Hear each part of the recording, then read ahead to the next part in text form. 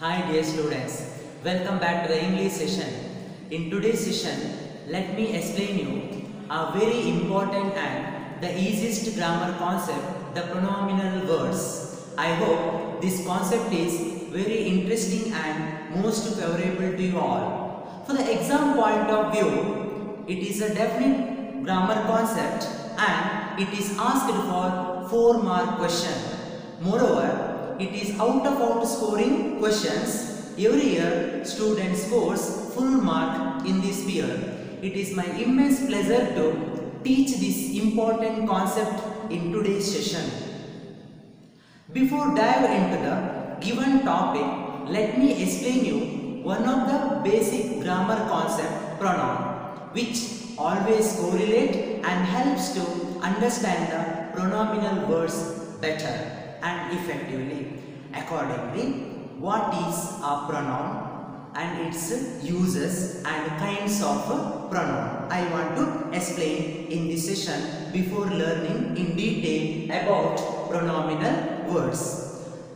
What do I mean by pronoun? Pronoun is a word that is used instead of noun. Generally, a words which stands for nouns are called pronoun. It is used in place of noun. For example, Ramu is a carpenter. He makes doors and windows. Dear students, in the given sentence, I have used Ramu is a carpenter. Ramu is a noun. Ramu is a noun. In the next sentence, instead of noun, I have used pronoun he. Ramu is a carpenter. He makes doors and windows. I hope you have understood what a pronoun is. Pronoun is a word that is used instead of noun. You know, we have many number of pronouns in our English language. Some of the pronouns I wish to mention here. For example, I, we, she, he, it, they, them, their, myself, yourself, herself, itself, mine, me. These are the commonly using pronouns in our English language. Now, I want to tell you uses of pronoun. Why do we need to have these pronouns in our English language? We commonly use them when we communicate, when we write. So, what are its uses? Dear student, pronouns we have in order to avoid the repetition of the noun again and again which comes in the text or in the passage. Suppose we don't have these pronoun, we need to repeat and use the name again and again in the sentence or in the passage. So just to avoid the repetition of the noun and to avoid the lengthiness of the sentence, we have many number of pronoun dear student. I already quoted a sentence. Ramu is a carpenter. He makes doors and windows. See, instead of using noun again in the second sentence, I mean the next sentence, I have used pronoun he. So with the help of pronoun, we can avoid the repetition of the noun which comes in the sentence. Next, I would like to explain about the kinds of noun. Altogether, we have 11 kinds of pronoun. They are personal, personal pronoun, reflexive pronoun, emphatic pronoun, distributive pronoun, demonstrative pronoun, interrogative pronoun, indefinite pronoun, relative pronoun, relative compound pronoun and possessive pronoun. Let me give you a meaning and example each kinds of pronoun. Accordingly, the first one personal pronoun. Dear student, a pronoun is used to refer three persons is known as personal pronoun. So this personal pronoun has divided into three kinds. First person, second person, third person. I hope you have already studied uh, these things in your primary classes. It is a better opportunity once again to recall or review the concept what you have studied earlier. So, I told you that we have three kinds of personal pronoun that is first person, second person and the third person. Let me tell you what a first person is. A pronoun is used for the person speaking is known as first person. The person who is speaking is considered as a first person. Uh, for example, uh, pronoun I. So I stands for the first person in singular case. Plural case we have we. I, we, us, me, mine, our. So these are the words we can consider as a first person pronoun. Next, second person pronoun. So second person pronoun refers a pronoun that is used for a person spoken to. So I, the first person who speak here, to whom I am speaking, the second person. You is considered as here what? Second person. The person who listen to us or listen to me. The person who is receiving something from us. I mean from the first person is considered as a second person. We have you and your two pronouns as second person pronoun. And next third person pronoun. Here the pronoun is used to refer the person spoken of. That is he, she, it. For example, I refers the person who speaks here. You, the person who listen to me or us. Here, the third person is not there. So Ramu actually is not there. So Ramu is a carpenter. He is the third person.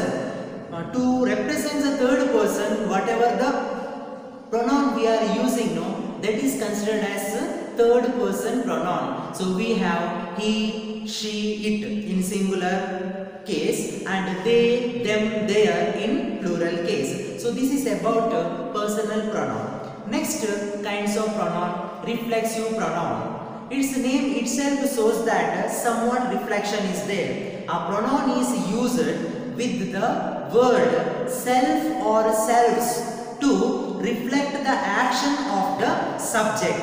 I mean the action done by the subject falls back upon the subject is known as a reflexive pronoun. So with the example I substantiate it. I cleaned my room myself. I drove the car myself. He helped himself. Did you understand? So these are reflexive pronoun. Next kinds we have emphatic pronoun. So reflexive and emphatic both the similar but we have to understand that usage is different. So reflexive pronoun reflect the action done by the subject. Emphatic pronoun it shows the emphasis on the subject. So a pronoun which is used to emphasize is known as for the sake of emphasize the person in order to give stress or intonation we are using a pronoun is called as what emphatic pronoun here when we emphasize someone or something emphatic pronoun comes immediately next to the noun or pronoun for example for emphatic pronoun I myself cleaned the room. Here the word myself it gives stress or emphasis on the subject. Have you clear? One more example. He himself drove the car. So these are the example for emphatic pronoun. So next kinds demonstrative pronoun. A pronoun is used to point out the person or thing we talk about is known as demonstrative pronoun. Example, this, that, these, those. If any object, if a singular object, if it is very near to us, we have this. If a singular object away from us, we have that. Similarly, uh, for a plural object, if it is near to us, we have these. And if a plural object which is far away from us, we have those. For example, this is my book. That is my friend's book. These are my teacher's book. Those are my friend's book. Did you get? Yes, this is about demonstrative pronoun. Next, we have indefinite pronoun. A pronoun is used to talk indefinitely is known as indefinite pronoun. So with the example you can understand it otherwise it is bit difficult to understand what a what an indefinite pronoun is. So indefinite pronouns are uh, some, one, somebody, nobody, anybody, nothing, all. So these do not refer any particular person or thing. So they are considered as what? Indefinite pronoun. For example, one of my sisters is very beautiful. I have many sisters. Among them one is beautiful. So it does not refer any particular person. So such kind of pronoun are called as what? Indefinite pronoun. Some are born great. Some. Any. It can be anyone. There is no particularization or specification for the first particular person. Nobody. Nothing. So these are called as indefinite pronoun. Next interrogative pronoun. So interrogative pronoun means a pronoun that is used to make questions is called as what? Interrogative pronoun. For example, who, what, whom, which, whose. For example, who was the first Prime Minister of India? Who is the father of the nation? So these are the term we use to make a question is considered as what?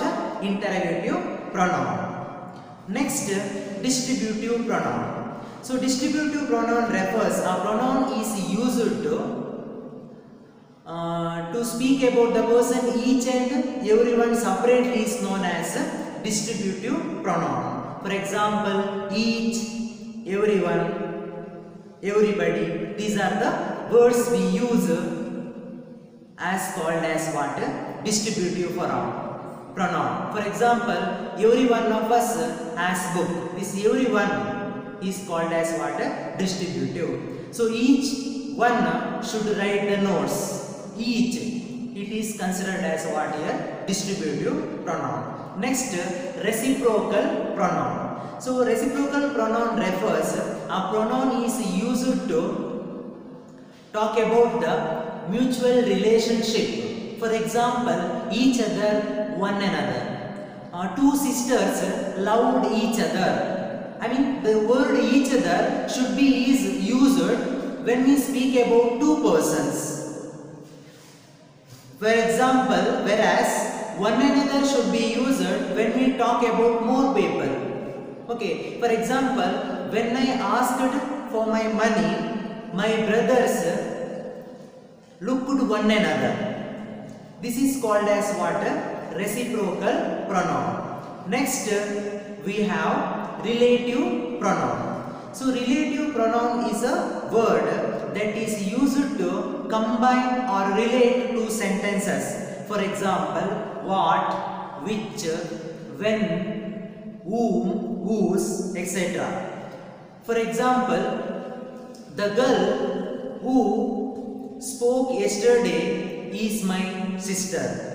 The woman whom you met in the temple is my mother. So these are the example for a relative compound. They uh, combine or they relate two sentences. Next, relative compound pronoun. Here, a pronoun is which is used, which is compounded with the word ever is known as what?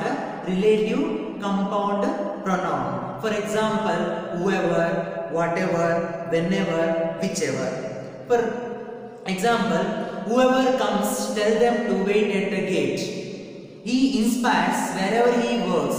So these are the example we can consider as what? Relative compound pronoun. Next, possessive pronoun. As the name itself shows that it should be used to denote or refers possession or ownership. For example, mine, ours, yours, is, hers. For example, that book is mine. That car is mine. Did you understand? So this is about kinds of pronoun. Now, dear student, I would like to tell the meaning about pronominal words. So pronominal is a word that acts or functions as a pronoun. I mean, it is pertaining or resembling or functioning as a pronoun. Now, you may have a question. How the particular concept appears in the examination, especially in the question paper. So, dear student, I would like to explain the pattern of the questions about pronominal words and how it appears in the question paper. Everything I will clarify in this session. So dear student, as I told you that it is a definite concept for the exam point of view and it is asked for 4 mark question and I already promised that it is out of out scoring questions. See dear student, under question number 32, you will be given a small passage consisting of 8 to 10 sentences with some underlined words. You have to read the given passage thoroughly and understand them. Then you should point out or specify or mention what does an underlined word refer in the text and uh, below the passage the underlined words mentioned and given a space. So you should rewrite the underlined words in your answer script against you should write what do they refer in the text. That is the duty of each student. To make it understand clearly, I wish to present a small passage. Then we will learn with the help of slides which I am going to display here. So, one small passage I wish to present here.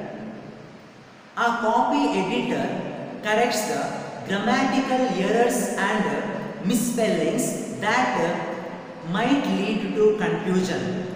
He corrects them and makes the story easier to read. If the story is too long, it is again edited down to the right size and eye-catching headline is added to make the reader interested so that he will further recommend the story to his associates. So this is a small passage. Now dear student, I am going to specify some words from the passage and I want to clarify what do they refer according to the passage which I just presented in this session. So I told you that a copy editor checks the grammatical error and misspellings that lead to confusion grammatical errors and misspellings that lead to confusion. So I would like to pick the word here that. According to the first line, what does that refers? That refers grammatical errors and misspellings. The word that is called here pronominal words. Have you understood? A copy editor checks grammatical errors and misspellings that might lead to confusion. Here what does that refer? Grammatical errors and misspellings. He corrects them and makes the story easier to read. Who does he refer in the given text? He refers copy editor. He is pronominal words. If the story is too long, it is again edited down to the right size. What does it refer? It refers in the given passage story. If the story is too long, it is what does it refer? It refer story. Dear student, when I was explaining about meaning of pronoun, I told you that we have pronoun just to avoid the repetition of the noun again and again. See, instead of story, I have used it. It refers what? Story. He will further recommend the story to his associates. Who does his refer? His refers reader. I hope you have understood better about the pronominal words with the presented passage. Now let us more let us learn more in detail about the pronominal words with the help of the uh, slides. There we can get to know some of the example.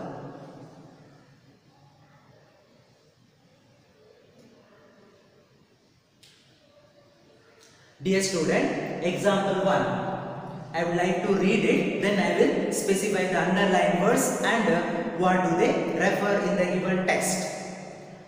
Sahu, see what do the underlined words refer to in the following extract. In the exam question paper, you will be given instruction like this. What do the underlined words refer to in the following extract? and there is a small passage will be given followed with the underlined words. See, Sahu designs the trophies and handed over to the winners. These are presented to them with great ceremony. Though Sahu is not a sportsman, his passion for creating the trophies is outstanding. He has his workshop in Bhubaneswar where he has been living since his childhood. Dear student, here four words are underlined. It is your turn and duty to refer them. What do they convey? What do the underlined words refer in this text? We have to find out. We have to make out. See, Sahu designs the trophies and handed over to the winners. Have you understood the meaning of the first sentence? Yes, very good. These are presented to them with great ceremony. So in the second sentence, we have the term these. So these refers trophies. Sahu designs the trophies and handed over to the winners. These are presented to them with great ceremony. What does these refers in the text? These refers trophies. So dear student, word these is considered as pronominal word. So here option A these given. So these against you should mention trophies.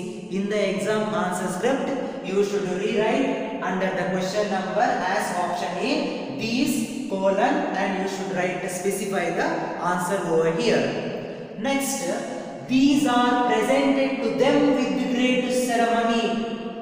What does the word them refers? Go, go back to the first line. Sahu designed the trophies and handed over to the winners. What does the word them refers? Them refers winners. The word them denotes or refer winners. Yes, here them refers winners.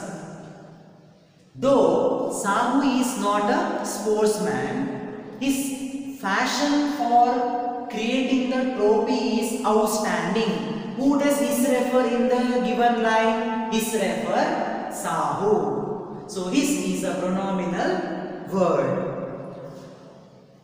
He has his workshop in Bhubaneswar where he has been living since his childhood. Who does, sorry, what does where refer in the text which given in the slide?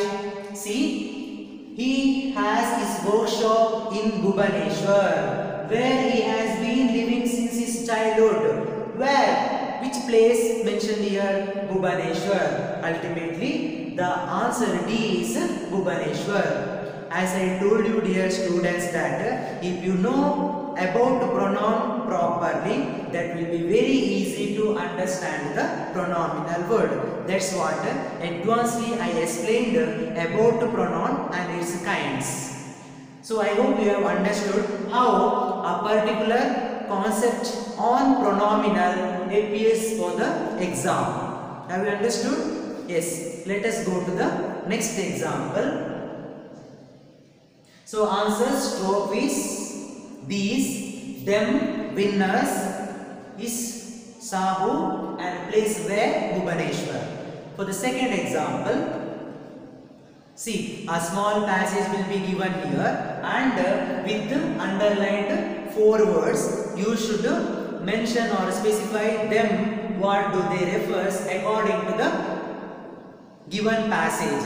But before going to answer them, you are requested to read and understand the passage. Unless understand the passage, it will be difficult and it may mislead you also. Catch the rain where it falls was the reason behind the construction of tanks. They have been the lifeline of people, but now most of them have been used for dumping garbage, which is a bad habit. So let me explain you one by line by line. Catch the rain where it falls. What does it refer in the given line? Catch the rain where it falls. It refers rain. So in examination you should mention over here what does it refers. Was the reason behind the construction of tanks. They have been the lifeline of people. What does the word they refer? What does compared as that lifeline of people? So they refer tanks. So against the they we should write tanks. But now most of them have been used for dumping garbage. What does them refer according to the line? But now most of them, them refers tanks. Again we should write here tanks have been used for dumping garbage which is a bad habit. What does which refer? Here which refers dumping garbage. Here and there we dump without considering the condition of our ecosystem or environment. We throw or dump garbage according to our wish and will. So that is bad habit generally we say. See, but now most of them tanks have been used for dumping garbage which is a bad habit. What is a bad habit? Dumping garbage. So here we should write which. So dear student, under the kinds of pronoun which refers relative compound. See, dumping garbage which is a bad habit. This which, which relates or combine to sentence or phrase. Have you understood? Yes, here which means dumping garbage. Yes, I hope you have understood it easily. Next, third example. Trees are essential to the ecosystem in which they reside. They absorb and store rainwater. This helps the groundwater supply recharge. Fallen leaves make excellent compost that enriches soil. See, I want to specify the underlined word and I will help you to yes, make them to understand what does it refer. Trees are essential to ecosystem in which they reside. What does the word which refer? Yes, ecosystem. Which refers? Ecosystem. They absorb and store rainwater. According to the passage, what does they refer? They refer trees. This helps the groundwater supply recharge.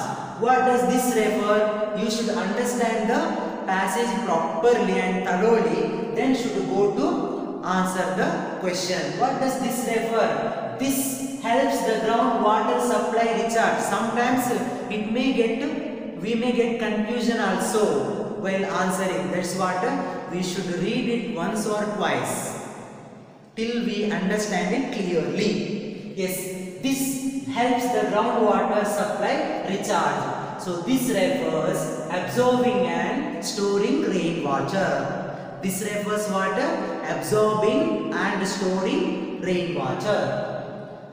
Fallen leaves make excellent compost that enriches soil.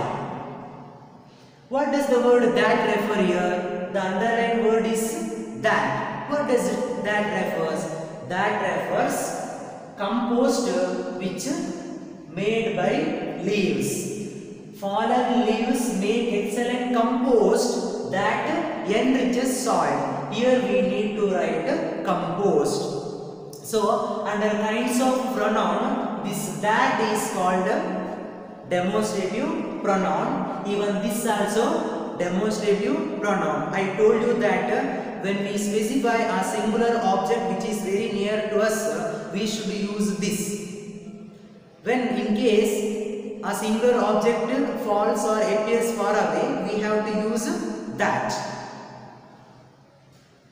Do you understand? Next, we'll move to the next example. One more example. Rivers continue to be a very important source of food. Apart from being a rich source of fish, they indirectly aid agriculture, which is a major occupation of people across the world. Farmers in dry regions where rain is scarce irrigate their cropland using water carried by irrigation canals from nearby rivers.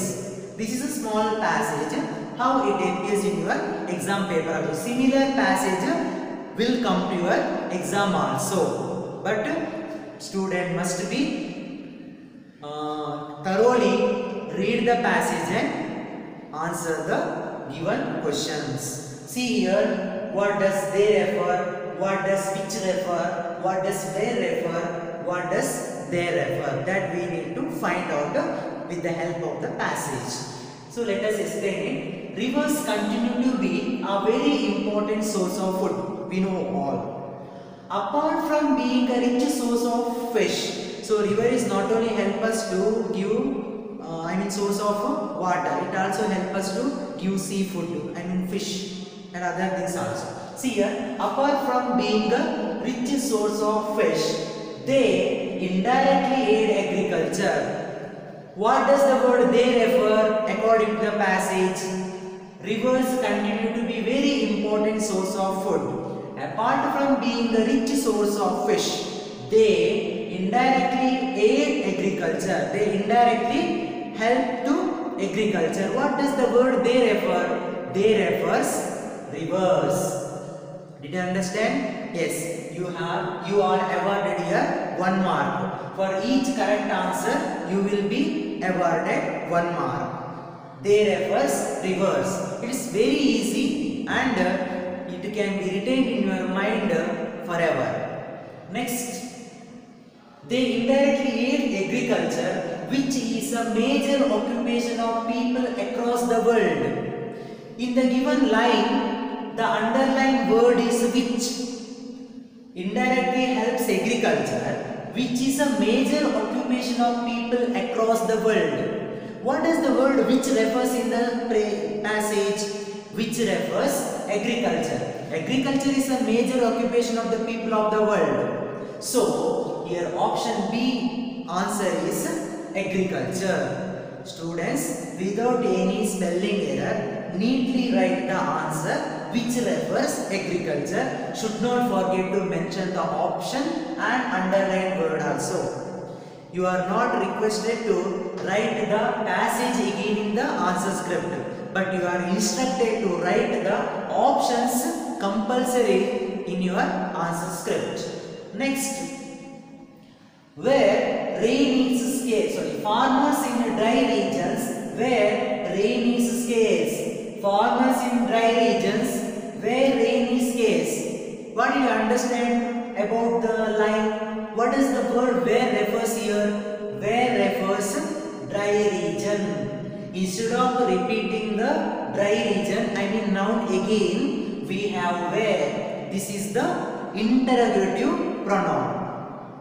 Can you remember? Yes. So where rain is right? Where refers dry region.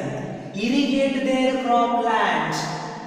Again we have the underlined word here, there. What is the word there refer? There refers farmers in dry regions. Farmers who lives in dry region. People who flow their land in dry region. There means farmers in dry region using water carried by irrigation canals from nearby rivers. So here there means dry region. Sorry, uh, farmers in dry regions. So